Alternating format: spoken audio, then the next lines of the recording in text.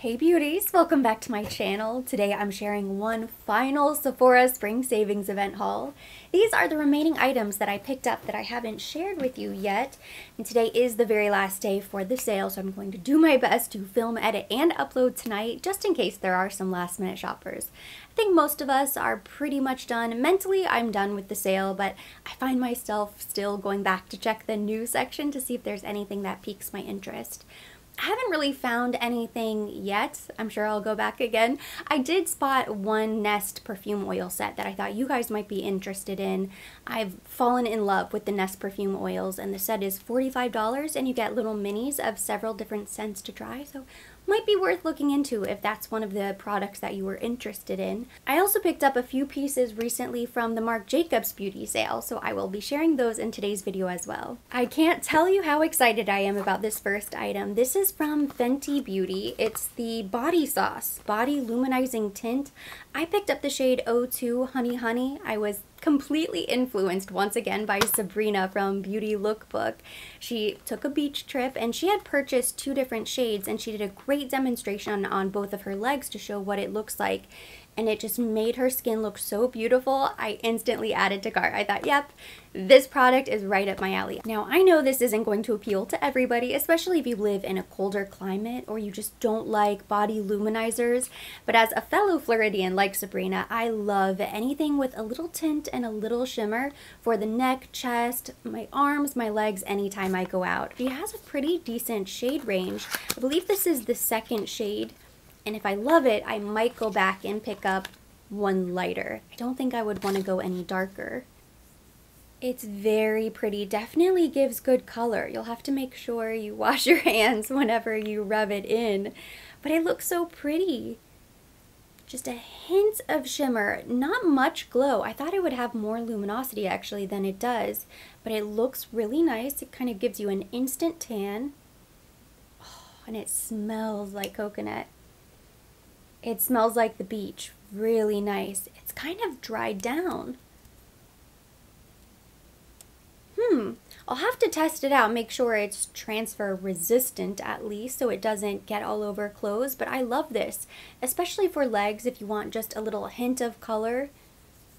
I never tan naturally in the sun, so I rely on products just like this to give me a little extra glow. I love this. Even just to have something for my hands whenever I sunless tan. It's starting to fade now, but you can see there's definitely a line of demarcation right here. I'm always terrible at doing the hands. The arms are great, they'll be even inside and out, but when it comes to the hands, they're just so tricky because I never want them to get too dark. So something like this is actually nice to rub on the hands or any areas where you struggle. That way it kind of blends into your sunless tan and you don't look crazy. You don't have to worry about it getting too dark or splotchy. A lot of different uses for this, especially going into summer. I think I will get a ton of use out of it. I'm going to have to look into the lighter shade as well. I wonder if that one has a little bit more glow to it. I also picked up one of the new Hourglass Vanish blush sticks. I don't think this is a limited edition product. I think it's just a new launch. So there's probably no rush to get this right away. The shades are really pretty. And I was just kind of interested to see how creamy they would be. So I purchased the shade Sacred. I want to say these were 45 or $49, so they're pretty pricey. Hourglass markets themselves as clean luxury, cruelty-free luxury brand. The packaging is really pretty. I like this gold. Directions for use. I think we can pretty much figure out a blush stick.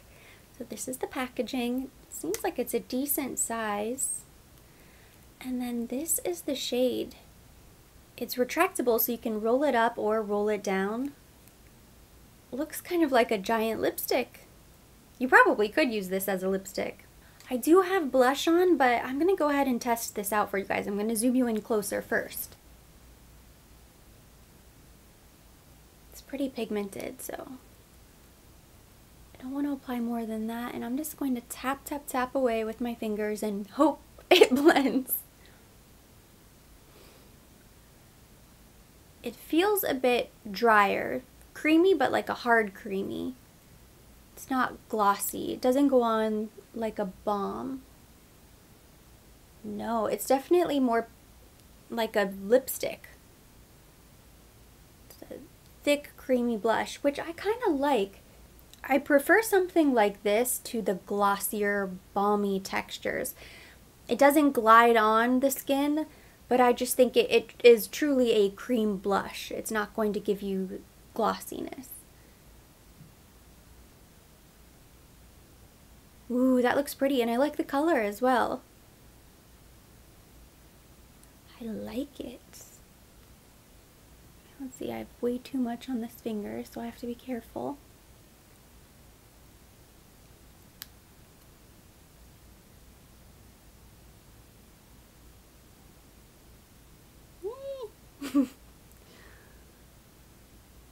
I like the color, but I like how pigmented they are. This color is a much brighter pink than I thought it was going to be. Maybe it's the combination of what I already had on my cheeks and this, but it looks bright pink. Again, this is the shade Sacred. I really, really like this. I am so happy with it. Not disappointed at all. So much color payoff for that little stick. You're not going to need to use much, that's for sure. And I didn't need a brush. I was able to easily blend it on top of what I have. It didn't break up any of my makeup underneath. I think it looks great. 10 out of 10. Now this item is sort of random, but I needed some sharp scissors. I had a pair that I loved. They were amazing and I lost them. I think my husband probably took them and they're somewhere in his bathroom and it's not even worth trying to go in there to find them. I didn't want to spend a ton of money. I probably could have gone to Walgreens or somewhere like that to pick some up. With the sale going on, I saved 20% off. I figured I might as well invest in a really good, really sharp pair of scissors. And I was reading a bunch of reviews, and these Tweezerman scissors had great reviews. These are the brow shaping scissors and brush. People said the spoolie was terrible. They basically just threw it away. I didn't pick this up because I wanted the spoolie. So the spoolie, whatever, don't care if it's not great. But these scissors are supposed to be amazing. So these I can use to trim my brow hairs because some of them get a little bit too long and since I brush them up and I like to fluff them out, if they get too long then it starts to look crazy. So I like to trim them down just a bit. Here's a new launch from Olaplex that I'm excited about. This is the Olaplex number 8. Bond Intense Moisture Mask. It moisturizes, smooths, adds body and shine for all hair types. It is about time they came out with a hair mask. I also picked up the Kerastase Blonde Absolute Hair Mask. I used it. I've only used it once, but I used it the last time I washed my hair. I really liked it. I'm not sure if I noticed a huge difference the first time around with the amount of moisture in my hair. No complaints it just, I'm not sure it really blew my mind. Maybe I need to try it again and leave it on a little bit longer. And I, the only reason I say that is because in comparison with the orange Kerastase mask that I always rave about that I ran out of, that mask changed my hair. Within one use, I felt, wow, what a huge difference the one time. So I guess my bar is set pretty high for hair masks. I'll try this one the next time around. I love the Olaplex number three. I do have the shampoo and conditioner. I'm not sure I've ever tried them, but maybe I will take a day to pull out all of my Olaplex and just use everything in the line and see what happens. Maybe the magic is in the regimen. You have to use everything. It says you have to leave it on for 10 minutes. That's a really long time. Usually I leave my hair mask on while I shave my legs. Doesn't take me 10 minutes. So I might need to work this out with the shower. I want to make sure I get all of the benefits. So I'll probably have to stop, maybe get out of the shower, leave it on, and then get back in to rinse it out. It's worth it. Anything that will help prevent damage, I will jump through that hoop. So I will let you guys know. The great thing about this too is it's only $28 versus 50 and $60, even more than that, for some of the higher end masks. Currently, I am well stocked when it comes to hair care, styling products, finishing sprays, that sort of thing, but it never stops me. I always find myself adding hair care products to cart, but this was a little set that I saw. I wanted to take advantage because it was a value set save the 20% off and it is this dry shampoo. I always go through dry shampoo. It's probably the one product that I don't have a lot of. I think I maybe have one. So this will be my backup. It's from IGK. I love their products. I'm on an IGK kick right now. This is First Class, the Charcoal Detox Dry Shampoo. Deep cleanse level, detoxifying, oil erasing, scalp soothing. Since I like everything else, I figured I would go ahead and try this. It has charcoal powder.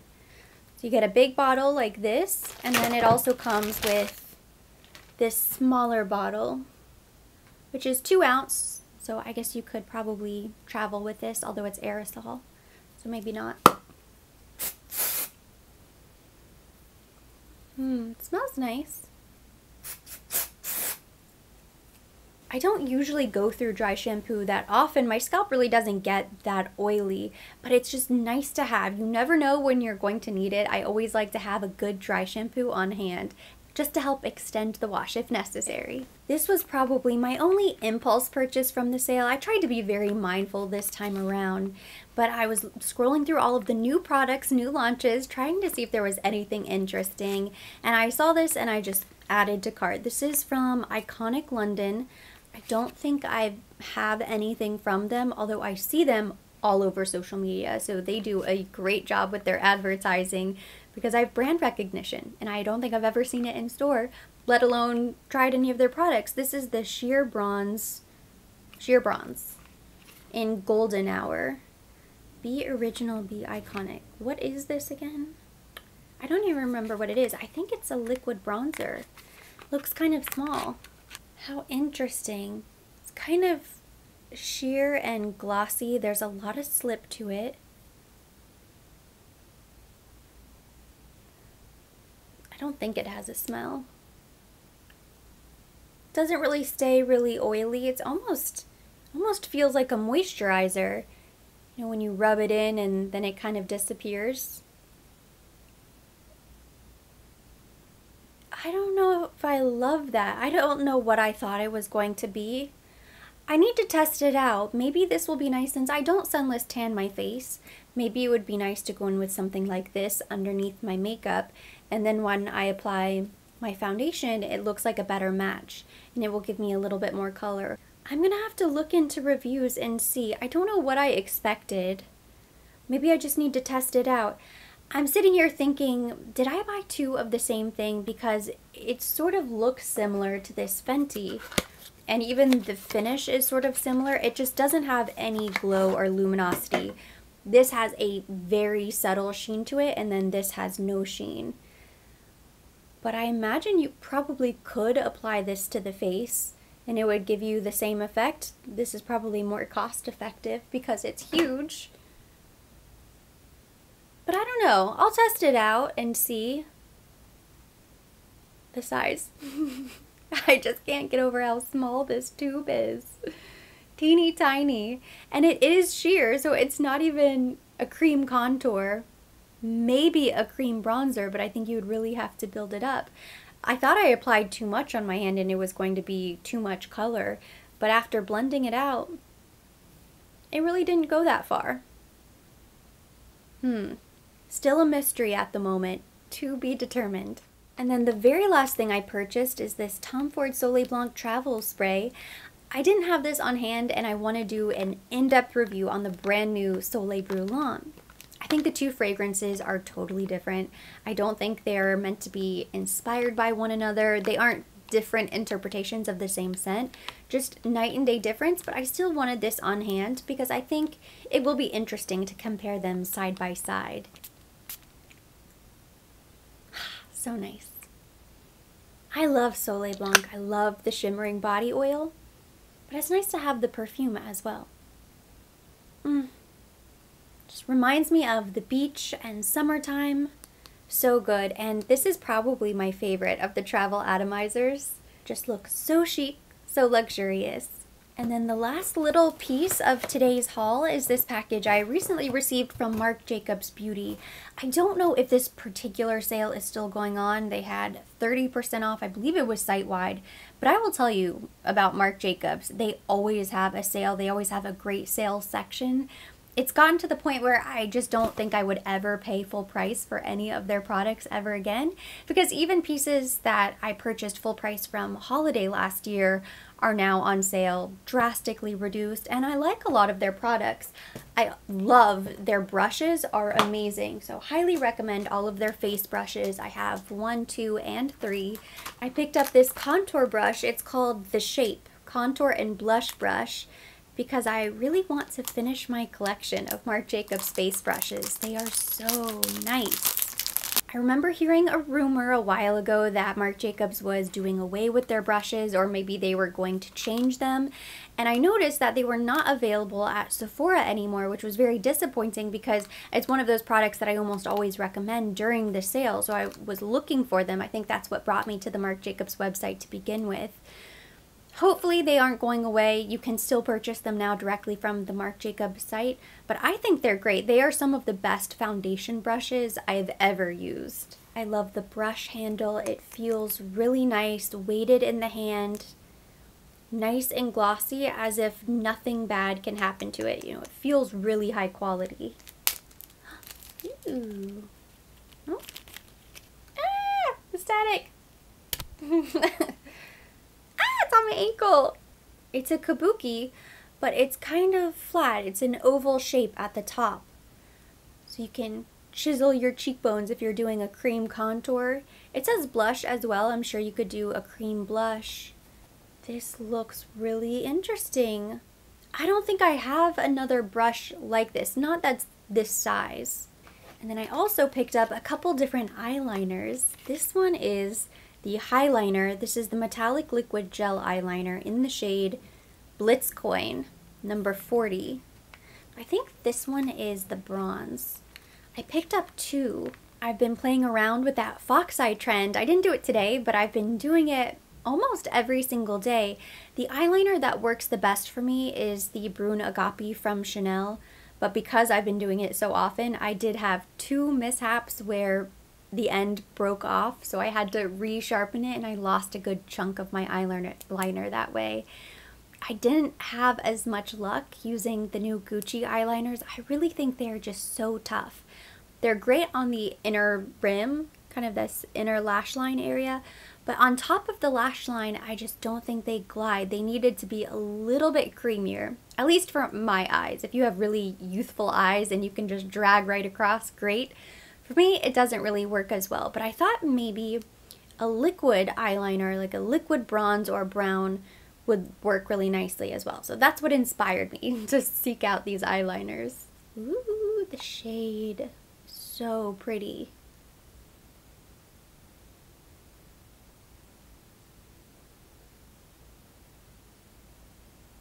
Next, I'm going to open Star Magic number 32 this one is more of a rose gold, which also looks really pretty. I couldn't decide between the two. Since it was on sale and they were relatively inexpensive, I figured I would just go ahead and get both. But look how pretty this rose gold is. I'm really glad I picked up both. They're different enough. I know on the eye the difference will probably be even more subtle, but I love this bronze and I love the rose gold. In fact, it's a lot more rosy than it looked in the photo online.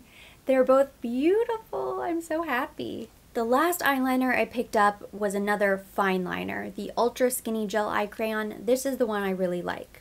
So these are really thin, very small, and this is just a chocolatey brown.